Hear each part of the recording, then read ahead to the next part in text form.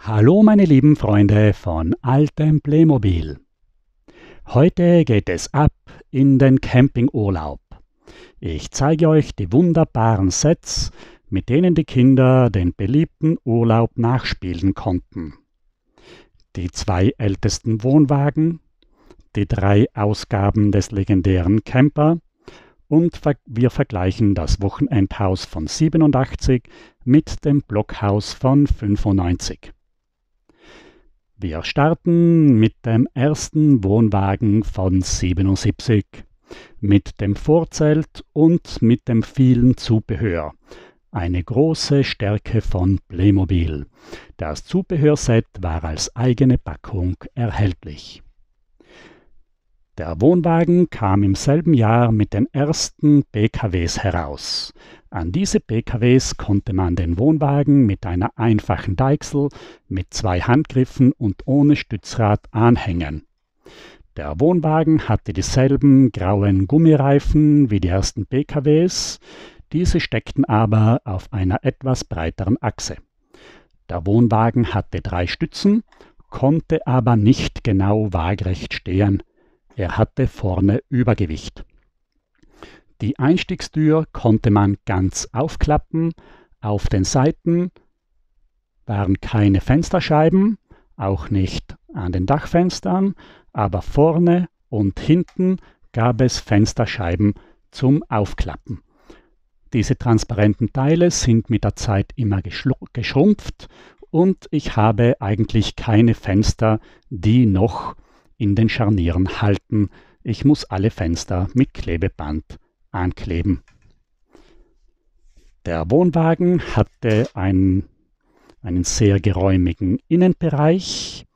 Links hinter der Tür einen Herd mit zwei Kochplatten, gegenüberliegend eine Spüle, ein Regal für das Geschirr. Links haben wir ein großes Doppelbett. Die Matratze kann man herausnehmen und mit einem Tisch austauschen. Ebenso kann man auf der gegenüberliegenden Seite bei der Sitzecke den Tisch entnehmen und mit einer Matratze für ein kleineres Bett ersetzen. Auf der Packung hatte der Wohnwagen ein weißes Dach und ein oranges Vorzelt. In der Sonderausgabe von 78, Artikel 3152, Gemeinsam mit dem blauen LKW hatte der Wohnwagen dann ein oranges Dach und ein grünes Vorzelt. Die grüne Plane des Vorzeltes ist an Noppen aufgesteckt. Das Vorzelt hat ein weißes Gerüst, das an drei Stellen an der Seite des Wohnwagens eingehängt ist. Das Dach hat drei Aussparungen für die Halter des Gerüstes. An zwei Seiten gibt es Noppen, an die die Plane angesteckt werden kann. Die Seitenteile der Plane ist nicht befestigt. Beim Wohnwagen ist umfangreiches Zubehör dabei. Sonnenschirm, Campingtisch, vier Stühle und eine Liege. Ein Grill mit einem sechsteiligen Werkzeug. Das Grillwerkzeug darf man nicht mit dem Schmiedewerkzeug vermischen. Ein Eimer, eine Einkaufstasche und das Geschirr besteht aus zwei Teilen. Der rote Teil ist das Cowboy-Geschirr in roter Farbe mit den fünf Tassen Karaffe und Kelle. Und dann gibt es noch das blaue Campinggeschirr mit der etwas breiteren und niedrigeren Karaffe mit vier Tellern, drei Pfannen und Töpfen und drei Küchenutensilien. Im Jahr 78 gab es auch das Ausflugsboot das zeige ich euch, weil es dieselbe Inneneinrichtung hat wie ein Wohnwagen. Es gehört deshalb auch zum Campingthema und ist eindeutig ein Hausboot mit Herdspüle, zwei Regalen und das Doppelbett, wo man den Tisch einsetzen kann. Das Hausboot beim Campingthema. Jetzt kommen wir zum neuen Wohnwagen von 1983. Wir haben hier das Auto mit den neuen Gummireifen auf weißer Felge. Der Wohnwagen hat eine größere Deichsel mit einem Stützrad. Es sind zwei Radkeile an der Deichsel. Der Wohnwagen hat auf allen Seiten vier Stützen, die man ausklappen kann. Die Achse ist eine große Tandemachse, aber in diesem Fall nicht mit Gummi, sondern mit Hartplastikreifen. Die Einstiegstür befindet sich auf der rechten Seite, ohne Fenster, ganz zu öffnen. Das Badezimmerfenster und das Dachfenster ist ohne Glas, aber die drei anderen Fenster haben sehr große Panoramascheiben. Man kann den Mittelteil aufklappen und somit den Innenbereich des Wohnwagens bespielen. Vorne links gibt es zwei Kinderbetten mit Nachtkästchen, Matratzen mit Filzbezug. Auf der gegenüberliegenden Seite das große Doppelbett hier kann man auch die filzbezogene Matratze herausnehmen und man kann einen Tisch einstecken und erhält eine Sitzecke. Herd, Küchenzeile ist an der Fensterseite und auf der gegenüberliegenden Seite haben wir ein Badezimmer mit Waschbecken und WC. Das erste Mal, dass den Playmobil-Figuren auch menschliche Bedürfnisse zugestanden werden. Das Zubehör ist sehr begrenzt.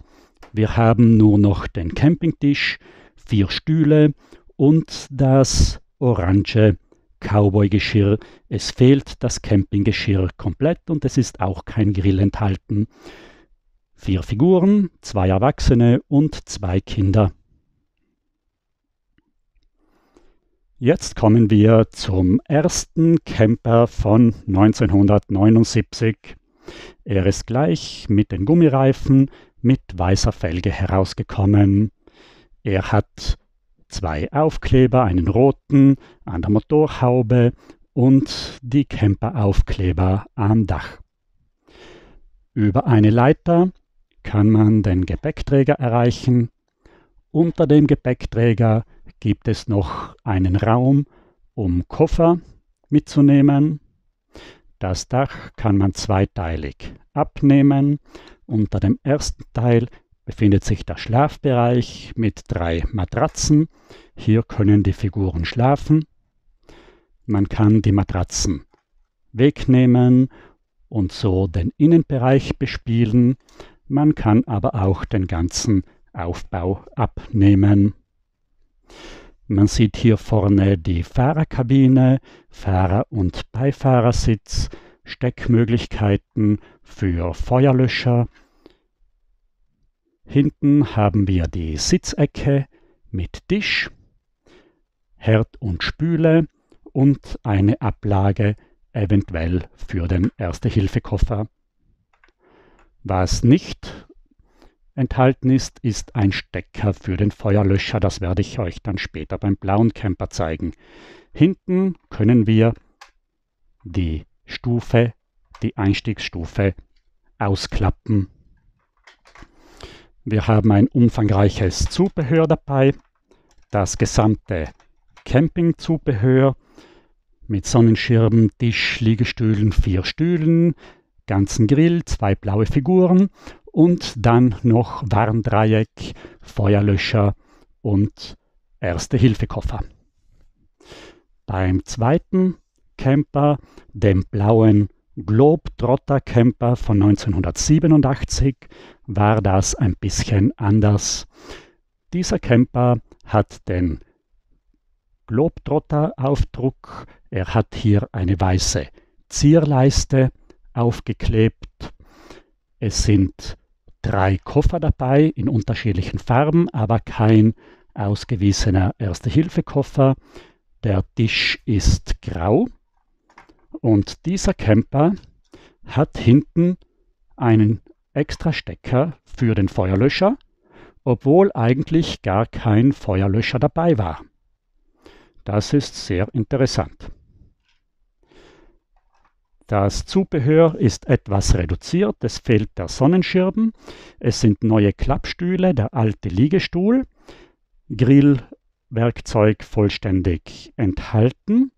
Das Geschirr ist jetzt nicht mehr das Cowboy-Geschirr oder das Campinggeschirr, sondern das sogenannte Krankenhausgeschirr. Wir haben ein Doppelservice, zwei Fleischteller, zwei Suppenteller, zwei Untertassen, zwei Tassen. Wir haben vier mal das Besteck, Löffel, Gabel, Messer und es fehlt hier noch eine blaue Blumenvase, äh, die ich nicht habe. Blumen waren keine enthalten. Wir haben einen Korb, einen Picknickkorb. Das Kind hat einen gelben Sonnenhut und Sandspielzeug, zwei Figuren.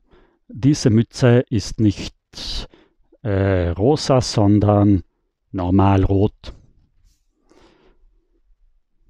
Nach dem blauen Camper kam 1990 der gelbe Camper, der bis 1996 im Sortiment war. Dieser war wieder mit Camper beschriftet. Er hatte einen blauen Tisch, es waren vier Koffer dabei. Die Campingmöbel waren diesmal die Safari-Möbel in blauer Farbe mit einem etwas starreren Sitzbezug. Wir haben wieder das Krankenhausgeschirr, diesmal in der originalen braunen Krankenhausfarbe. Es waren auch keine Blumen dabei. Wir haben zwei erwachsene Figuren, die Frau mit schmalem Sommerhut, der Mann mit blauem Hut, mit Zeitung, das ist hier die falsche Zeitung, das ist die Flughafenzeitung, und drei Mädchen mit Sandspielzeug. Nach diesem Camper werfen wir noch schnell einen Blick in unseren Campingplatz. Im Campingplatz habe ich den Eisverkäufer von 1982 aufgebaut und das Kiosk von 1984. Zum Kiosk gehört auch der Fahrradständer, der in keinem Campingplatz fehlen darf. Die Fahrräder kamen im Jahr 1979 heraus. Ich zeige sie euch, weil wir später zu den neuen Fahrrädern von 1992 kommen. Jetzt zeige ich euch das Wochenendhaus, der Bungalow von 1987. Dazu ist zu sagen, er ist im selben Jahr herausgekommen wie die Western-Gebäude. Das heißt, der Bungalow hat die gleiche Bauart wie das Farmhaus oder wie der Colorado Springs Bahnhof. Er ist im Stecksystem gebaut in weißer Farbe. Er hat den Unterbau wie die Westernhäuser, zwei Stiegenaufgänge. Es sind zwar die Fensterläden wie von der Safari-Station, aber in einem etwas helleren Grün. Wir haben die Vorbauten mit der Schaukel, wie beim Westernhaus. Es gibt auf einer Seite eine große Doppelflügeltür, wo man in den Innenbereich kommt. Das Gebäude ist auf allen Seiten geschlossen. Hier sehen wir das Dach, zwei durchbrochene Giebelelemente und zwei volle Giebelelemente. In der Einrichtung haben wir eine große Küchenzeile mit Regal, einen Couchtisch, es ist hier noch ein großes Schlafsofa dabei und ein aufklappbarer Polstersessel, wo die Figuren schlafen konnten. Ebenso ein Fernsehgerät. Wir sehen, dass vorn eine Bogenlampe eingesteckt ist und es gibt eine Parkbank vor dem Haus. Wir haben auch einen Blumentrog mit gelben und roten Blumen. Es ist der Grill dabei, ein neuer Campingtisch mit eingesteckten Sonnenschirmen, genauso wie er auch zum Beispiel beim Wohnwagen vom Gewichtsheber im Circus Romani verwendet wird. Wir haben wieder das Krankenhausgeschirr mit weißer Vase, das Radio und wir haben einen Picknickkorb mit einem Baby. Es sind insgesamt vier Figuren dabei. Die Frau hat einen roten Sommerhut, der Mann hat eine andere Schildkappe in roter Farbe und ein rotes Mädchen und das Baby. Jetzt vergleichen wir den Bungalow von 87 mit dem Blockhaus von 93. Ein besonders schönes Blockhaus aus der Wildnis-Serie Die Fischerhütte. Dieses Blockhaus ist deshalb interessant, weil es nicht mehr im Stecksystem gemacht ist, sondern es ist so zusammengesteckt, wie es auch heute die Gebäude sind. Wir haben zwei Felsenelemente, die bereits 95 die Stecker vom System X haben. Das sind Rockys Felsenelemente. Die Hütte ist auf Pfählen gebaut. Die Pfähle kann man unten hineinstecken und man kann die Pfähle dann auch mit Felsenelementen ersetzen. Wir sehen vorne Tür und Fenster. Auf der Hinterseite haben wir eine durchbrochene Wand. Wir sehen, dass die Figuren im Stockbett schlafen müssen. Auf einer Seite ein angesteckter Stiegenaufgang, wo die Wildgänse hinaufgehen. Wir haben einen Tisch, Bank, Hocker und wir haben einen großen Grill mit einer Pfanne. Die Frau ist schon dabei, die Fische zubereiten, zuzubereiten, die der Mann gefischt hat. Beim Fischen gibt es ein nettes Angelspiel. Der Köder ist nämlich magnetisch und mit etwas Geschick kann man den Fisch selbst fangen. Es ist auch ein Kanu dabei mit zwei Rudern. Jetzt noch ein kurzer Ausblick zu den Fahrzeugen. Ich habe hier vier Autos von den 90er Jahren. Es sind alles Autos, die bereits in den 80er Jahren entstanden sind. Das blaue Familienauto ist in roter Farbe bereits im Jahr 86 herausgekommen.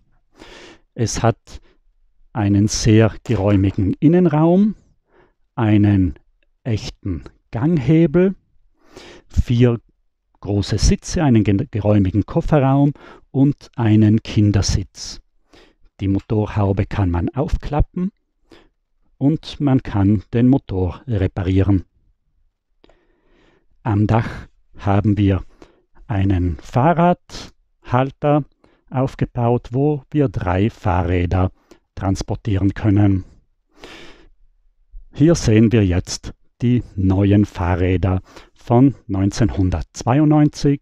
Die gibt es als Erwachsenenfahrräder mit Körbchen, mit Kindersitz und es gibt sie auch als Kinder-BMX-Räder.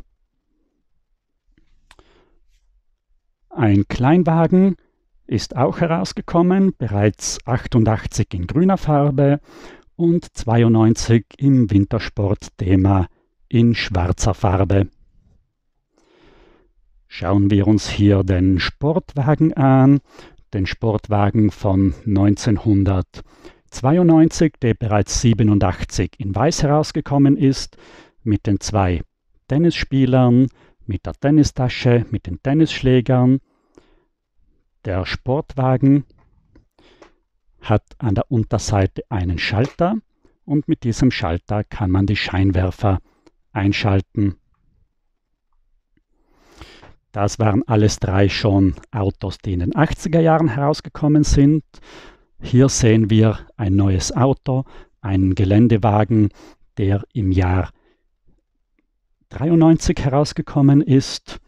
Wir haben hier immer noch Metallachsen, die aber mit einem Halter versehen sind. Sie sind mit Sprengringen befestigt. Wir haben vorn eine Seilwinde. In der Kabine Vater und Sohn auf den Ausflug in die Wildnis. Hinten kann man den Aufbau abnehmen. Er ist an den Haltegriffen befestigt.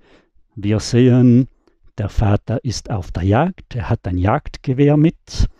Und anstatt dem Aufbau kann man auch einen Überrollbügel anbauen mit Scheinwerfern. Ein sehr schönes Fahrzeug, das auch als Bannenfahrzeug herausgekommen ist. Es ist eine umfangreiche Campingausstattung dabei, immer noch mit dem Grill, aber in grauer Farbe und auch das Grillzubehör ist nicht mehr schwarz, sondern Anthrazitfarben. Wir haben zwei Expeditionskisten, aber in hellgrau und nicht dunkelgrau. Es ist das Besteck dabei und äh, zwei Kaffeetassen mit Untertassen, eine Jausebox und eine Getränkeflasche. Wir sehen hier die Verpackung.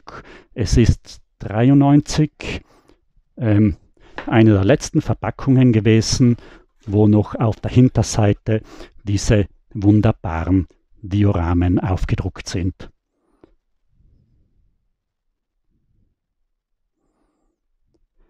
Zum Schluss noch das Dreieck, auch eine Möglichkeit, wie man die Fischerhütte erreichen kann. Das ist wirkliche Freiheit.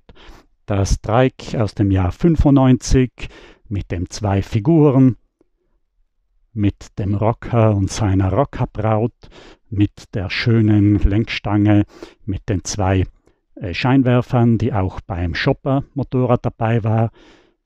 Hinten eben der große leistungsfähige Motor und das Nummernschild Florida Sandreich.